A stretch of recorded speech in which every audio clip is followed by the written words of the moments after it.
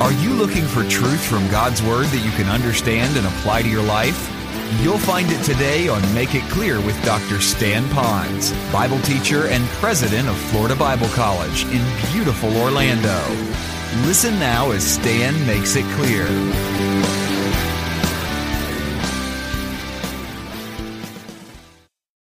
Now, today, my message is designed for two people. Two kinds of people. One kind of person would be those that know for sure that if they were to die today, they'd go to heaven. How many of those are here today? Are you that one of those? You know you're going to heaven. Raise your hand. The second group would be for those who are still wondering, what does it take to get to heaven? Or maybe you already think you're going there, but you're not really sure yet. And I won't have you raise your hand because I won't embarrass you because you might be on that other side there. But if that's the case, the message is going to be for you as well. However, Predominantly, the message is going to be to come alongside those that already know Jesus Christ as their Savior. Now, what am I going to be doing to help them? We, because of God's love for you and our love for the Lord and for you, we want to learn how to how did Jesus reach out and to touch lives with the simple message of salvation found in himself. So we're going to learn by observing what Jesus Christ did and taking from his life maybe some truths that might help us in connecting to those who don't. And those of you that don't know Christ as your Savior, I hope you're sitting back and you're saying, My, to be a part of a church that would love me enough to make sure that I would know accurately what the message is, how much that would mean to me. Now, with that, you might want to also know that this story is far larger. There's more involved in this real life event than I have time to, to really go into. Because it talks about Jesus Christ and he's setting himself up for the lady at this well here, this woman at the well, to understand that he is the Messiah and he is God, because that's the whole thing through there. The theme of the book is believing and that you might have life. And so we really want to see all of that. But I also want us to know that as we look at this life, we're going to see what he did with this particular woman. That's why I said, notice in this passage, you're going to see what we'll call the conversion of a woman. Basically, a woman who finally understood who Christ was, trusted in him, and then went about and told others. The second thing we're going to learn is how Jesus really can meet the needs of this woman, surely, but everyone that would be out there. And then, thirdly, back in the background will be his disciples and what's going on because there are some sub messages, not less important, but kind of sub messages to this bigger plot that's happening. And we want to be a part of that. Now, even though I'm going to talk about evangelism today, I think most of you have been through some evangelism training, and I believe in it. I, we have classes here. We encourage you to go to seminars. I've taught them, I've done them. Whether it's the Romans Road, EvanTell's good news, bad news, or whether it's the seven steps to the plan of salvation, or whether it might be the whatever is out there. Today, I'm not going to take you through a formula one, two, three, bam, give them the gospel. What I want to do is cover, just for today, I want to cover kind of a, a bigger picture. So, in other words, instead of getting right into what's the exact word you say, I would rather show you what are the four areas here of how Jesus did this. Now, next week when you come back, although the woman will respond to some of that, there's a bigger response that she gives, and I want to cover that next week because I want to show you three of her responses that are often the same kinds of responses that you'll encounter when you share the gospel with other people. So I think it'll really help you. So if you had to really think about one word today, the one word I want to talk about is communication. Because you really can't give the gospel merely by living a separated life. Now, I know it's important. I don't want to put that down. In fact, we give the gospel in our own lives also, Paul says. But it's not just about our life. We can be a great Christian. We never smoke, drink, chew, or go with girls who do. But that doesn't mean we're getting the simple plan of salvation out, all right? Telephone poles are like that. They don't smoke, chew, or go with girls who do, but they're not giving the gospel out. On the other hand, you can be out there, like I've been on Waikiki, you've been there too. There's some people, and I bless their hearts. They're bolder than I am, or maybe more nuts than I am. I don't know. But they're on the corner there of Kalakaua and one other street, and they got a bullhorn, and they're just shouting out to people, you know, turn or burn, try or fry, forsake or bake, or whatever they're saying. They have very few people around them except maybe a heckler, maybe someone who's maybe another language wanting to know what in the world is this uh, street man doing here. I, I want you to know, though, that there is that tender relational evangelism through communicating the message. And so it's through relations. And we're going to show you, though, that sometimes that can be very, very difficult. Now, to do that, I don't want to just kind of give it a lick and a promise, so that's why we're going to try to keep it within a timely manner. I want to thank my staff for taking down our clock in the back so I can just preach as long as I want to. And uh, we won't. Turn to John chapter 4 in your Bibles, if you will. You could follow along in your uh, worship folder if you want, it's there. But I really want to thank all of you for bringing your Bibles because nothing's better than you have your own Bible with you. Get a good study Bible. Make sure you write in the notes. The uh, paper is not sacred, it's God's Word that's sacred. So you can write all over your Bible that you want and take all the notes that you'd like. Now, to really set you up for the real dynamic of what's happening in this story about how Jesus communicated the good news, I need to give you what I call a backstory. So I won't take long, but I want to take just John chapter 4, verses 1 through verse 4, because we're doing an exposition of John, Gospel of John. You'll notice that he just finished up with some major things there with John the Baptist's testimony, etc. He was in Jerusalem, then he moved out of Jerusalem, went to Judea. You remember that there was some challenges going on between the disciples of Jesus, so to speak, and John's disciples. And so now here's what happens next in verse 1. It says, Therefore, when the Lord knew that the Pharisees had heard that Jesus was making and baptizing more disciples than John, although Jesus himself was not baptizing, but his disciples were, he left Judea and went away again into Galilee, and he had to pass through Samaria. So let's just pause for a moment on that. I asked myself the question why did he leave John the Baptist in Judea and he started to head towards Galilee but had to go through Samaria? One of the reasons could be is that Jesus knew that the two disciples, that his disciples and their disciples, were really not in competition, but they were still trying to sort things out. And the best thing to do sometimes to end conflict is to separate for a while. There was no love lost through all that, nothing bad about it. It was just a separation that was going on. There's another thing going on, and if you really study a little bit further, you're going to find that Jesus didn't want to encounter all the challenges from the Pharisees just yet. That happens a few chapters later. So when he gets further into the story, he he wants to do it then. But right now, something else had to happen first. So the best way to do that is to leave John the Baptist in Judea and head towards Galilee. But here's something that's a side note in this passage. You'll notice here it says John the Baptist, excuse me, Jesus and his disciples were baptized, but not Jesus. Here's what you need to know in evangelism on this verse alone. If Jesus said that you had to be baptized by immersion in order to go to heaven, it strikes me really curiously here why didn't he baptize then if it was so important? Because remember, Jesus came to seek and to save that which is lost. And while he is doing this, he's giving the message of salvation by faith alone. He talks about the importance of baptism.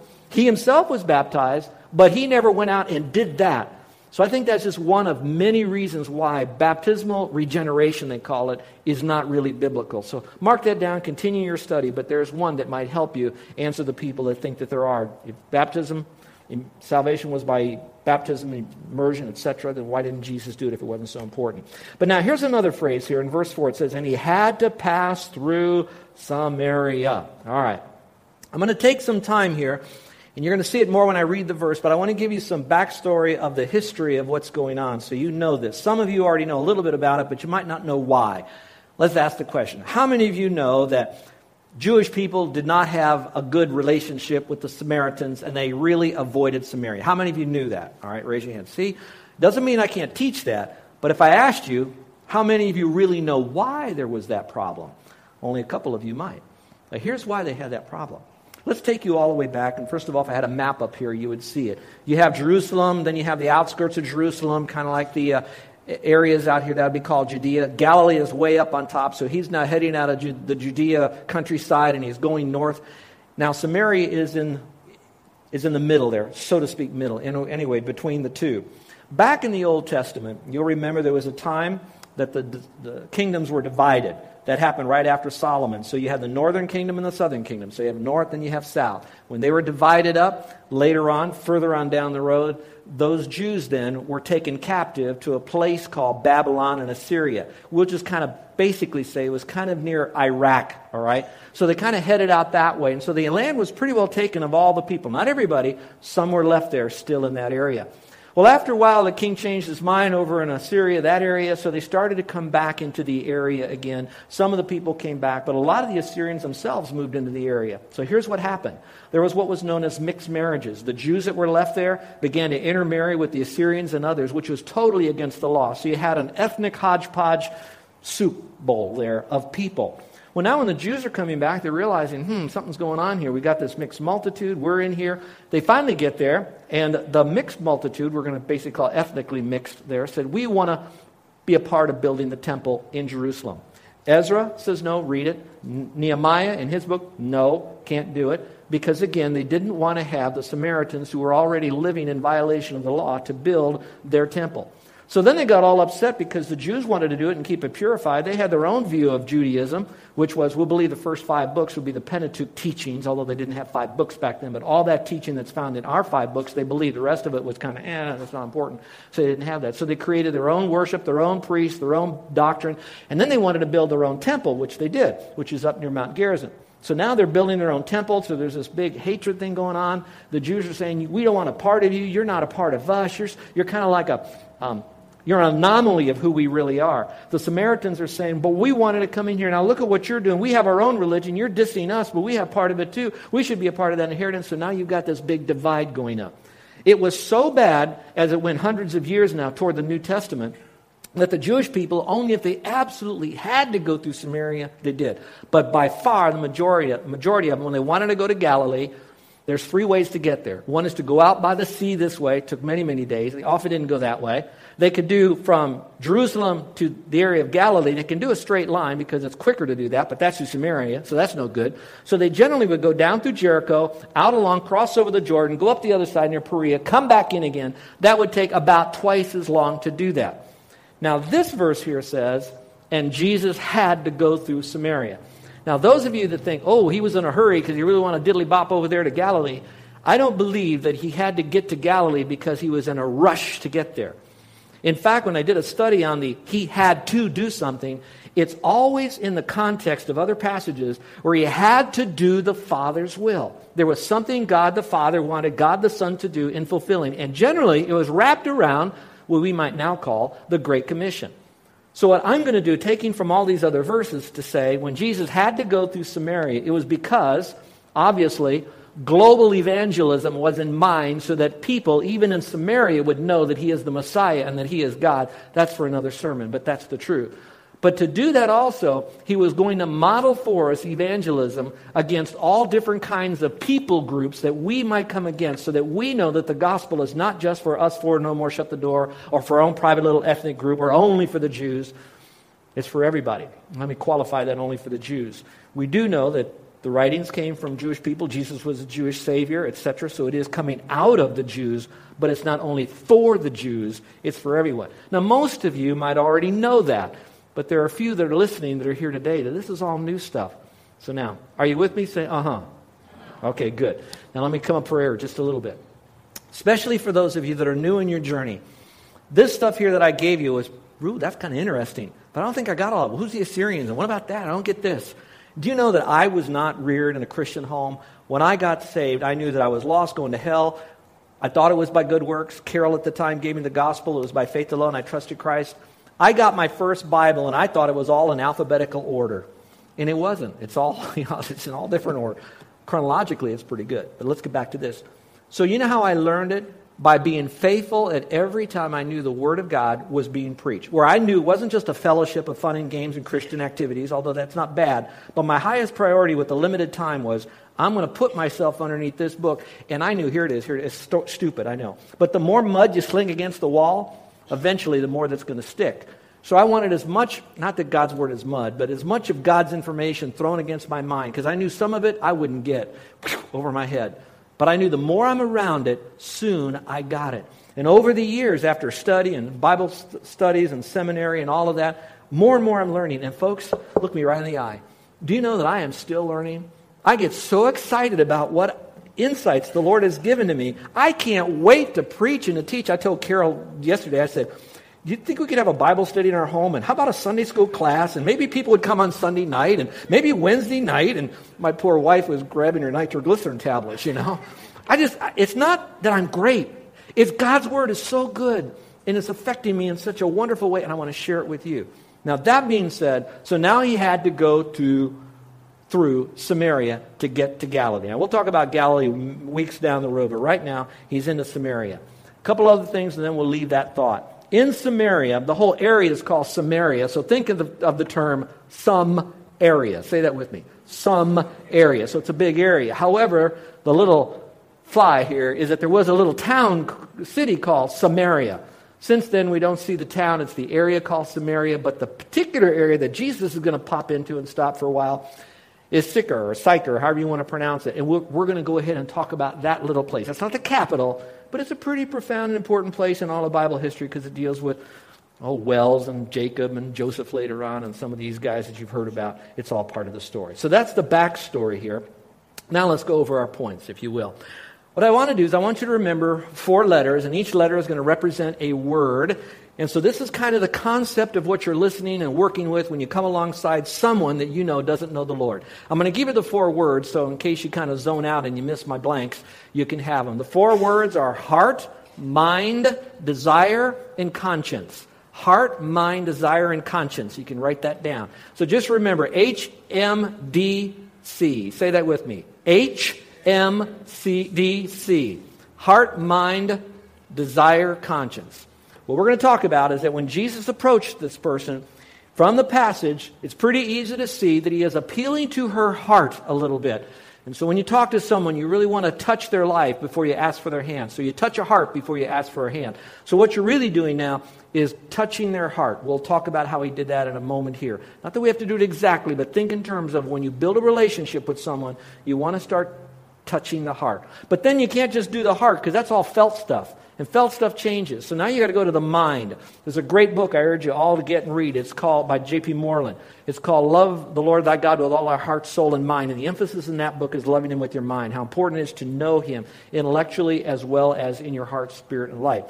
The third word is you want to go beyond the, the mind now. Now you want to get them to make a decision. So you're not a, you're, you're speaking to a desire. What do you really need? What, what are your needs? What do you desire? But then you end up with a conviction. And we're going to call that that bit of conscience that happens because now it's usually at that stage when they really have a conviction that this stuff is true, it is true for me, and therefore I've got to deal with it because there are, here it is, consequences that the person begins to change. And so while I'm not giving you how do you open a conversation, how you close a conversation, what do you say, I'm going to go over those four areas this week, and then we'll talk about how she responded to it next week. So let's talk about appealing to her heart. How did he appeal to her heart? Well, here's how I think he did. All right, verse 4. And we're going to follow along now to maybe verse 9. I'll just kind of read it and then comment as we go along. Verse 4 says, And he had to pass through some area, Samaria. And then it says, So he came to a city of Samaria called Sychar, near the part, parcel of the part of the ground that Jacob gave to his son Joseph. And Jacob's well was there. Now let's just pause for a moment. What is interesting, folks, is that there are a lot of places in, in Israel, in the Middle East, that are called according to tradition.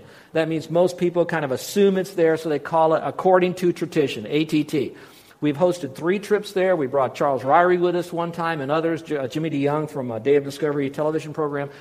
And a lot of those spots, they're going to say, according to tradition. The best I can get I believe that this particular well that we're talking about right here really does exist in this little town, a little bit out, about a half a mile outside the town in Sychar today. There is some kind of a churchish, Orthodox church thing over it, but there is that well there. And when the archaeologists uh, identified that being that particular well, they really believe it is because there are no other wells outside the city, as this one would be, that they could find ever dug except this one. This well probably had to be between 50 to 100 feet deep. In the context, he's going to talk about rivers of living water. This particular well isn't a well that they sink down into the ground. All the, the, the uh, ground above, above ground water kind of rolls and flows into this little well, and you got this murky thing that people scoop out their buckets with and get some water. This particular well is fed by an underground stream. So while it may go up or down based on much water, it's still a spring fed well in this thing. So I believe it's still there. Now, there's a lot of story. You might say, why did he say Jacob and Joseph and all this kind of stuff?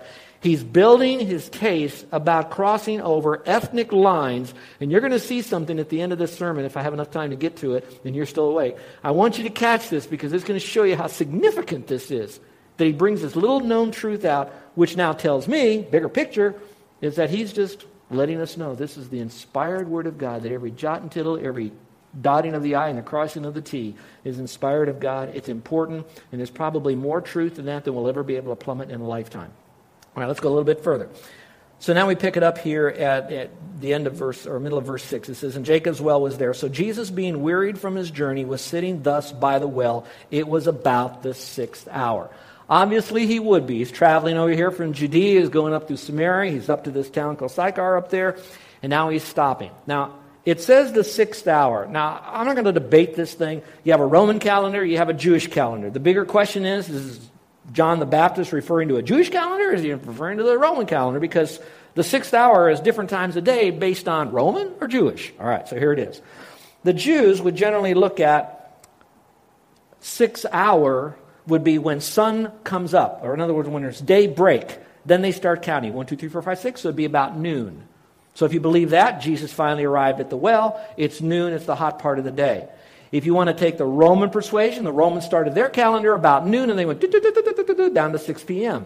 That too could be the same thing. It's a little cooler during the day. Maybe that's why she walked over there to get her water. Later on, we're going to find out what kind of a woman she was, and maybe that affected maybe what time it was. I don't think we need to fight over the exact, was it 12 noon or 6 o'clock? What we do have to believe, whether it's noon or even later in the day, we know that our day heats up starting about noon and it's still very hot by 6. We also know that she went to the well probably when there wasn't a lot of people because of her past reputation, especially with men, and probably also the outcast of other women. So she went up there to get her water with her own water pot to do that. And Jesus was there. Now, here's something else in this passage that might help some of you that are tr- still trying to sort out this Jesus thing. Jesus is all God and he is all man. There are some people that would like to make him so much God that he's not a man on the earth, he's kind of like an angel. You know, you see pictures and they got all this aura around him. You go into these cathedrals. I don't read too much between that word, but cathedrals that have all these stained glass windows, and also Jesus, and he's got this halo, and he's got all of this, and he's here on this earth. So they almost make him this mystical figure of God on the earth. They leave out his humanity other than he kind of looks like a guy because he's got a beard and hair. Others, they don't want to see him as deity, so they just see him as a man. The beauty of Scripture is to see both because he really is both. He is all God and he is all man. In this context, for this very moment in this verse, we're also seeing the fact that he was all man. And that's kind of important too because when he went to the cross, it wasn't that God died on the cross, God never died. Jesus died on the cross, but God can't die, and he didn't die. So you still see it all together. And I don't have time to show you all of that in Scripture. That's Christology. And some of you have taken our Bible study uh, course here, Bible doctrine class, so we can go into that. But right now, just know he was tired. He was hungry. He was thirsty. He wept. He was tired. He slept. And so in Scripture, if you go through Scripture, you're going to see the humanity. So when you see that, do not discount his deity. When you read about the things he did as deity, walking on water, raising the dead, healing people, doing miracles. I don't want you to then minimize his humanity because he was also human at the same time. So let's go back to the passage. So now he's coming up to the well about the sixth hour. This woman is now soon to arrive and try to uh, get into a conversation with him. And verse 7 says, And there came a woman of Samaria to draw water. Jesus said to her, Give me a drink, for his disciples had gone away into the city to buy food. Some people think, well, that's why he was there at 6 o'clock at night, because they're going out to get food for dinner. Others think it's a little ways into town. They had to shop, so he went at noon so they'd have a late afternoon snack. I, that's too much information. I, I don't really know. You decide and write me an email and give me your point. Okay, give me a drink, he says. Now, before I go any further, let's talk about that for just a second. There's, there's so much into that, it's, it's unreal. The first thing I'd like to say is there's two kinds of evangelism. There's a in your face evangelism where you just kind of go right into the gospel. Hi, how are you? Fine, John 3.16. You know, I, I, don't, I don't like that. You know, my, my wife has a wonderful phrase she uses when she works with people on evangelism. She says, never witness to a stranger. Always make them a friend. So in other words, what she's saying is build a relationship with them. In fact, there was a book written about 15, 20 years, maybe longer ago than that. It confronted those people that would go door to door and give the gospel, go door to door, and they said, we need to do something called friendship evangelism. And I kind of like that term. So the whole emphasis was make them your friend before you evangelize them. I like the book, but I think there's, that could also throw us to an imbalance. First is over here is evangelism without any relationship. Then you have others, we spend so much time building a relationship, we do very little evangelism. So it's not friendship, and it's not friendship evangelism, it's friendship evangelism. So I would like to tell you, as important as as easy as it is to go to your neighbors with whom you probably already have some hopefully good relationship with them, that you give them the gospel. But there could be times when you're on a bench, or maybe in this case, you're at our own version of the well, and it's going to be a counter at McDonald's. and there'll be someone next to you. Or the rocking chairs over at the Moana for us older people that walk there and have to sit there for a while. Anybody could be there. Jesus then launched into a relational conversation, which means, here it is, the secret of evangelism is opening your mouth and communicating the gospel. That's the simple part of evangelism, and that's what Jesus did. Now, when you read this here and you see this, you think, oh, that's kind of cool. You know, he talks to her about the gospel. He would. He's God. He's Jesus. He should do that. Now you got to take it back into context again and realize what stuff is really going on here. You're listening to Make It Clear with the teaching of Dr. Stan Ponz, founder of Make It Clear Ministries and president of Florida Bible College in beautiful Orlando, Florida. Make It Clear is dedicated to taking the Word of God with clarity into every person's world. It is the support of listeners like you who make the ministry of Make It Clear possible. You can provide your tax deductible gift to Make It Clear online by going to makeitclear.org. Or you can mail your gift to Make It Clear, P.O. Box 607901, Orlando, Florida 32860. Thank you for helping us make it clear. If you would like to have Dr. Ponz speak at your church or event, please send us an email at tellmemore at makeitclear.org. Thank you, and remember to make it clear.